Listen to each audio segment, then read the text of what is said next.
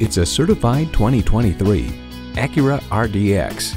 It provides the comfort and luxury of a large SUV with the moves and fuel economy of a small one. It comes with all the amenities you need.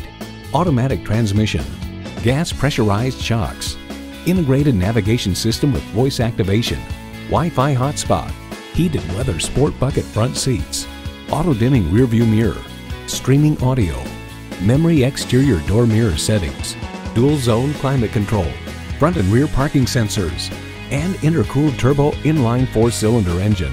Acura believes if there is a better way, take it. That philosophy shines through in this vehicle. There's even more to see in person. Take it for a test drive today.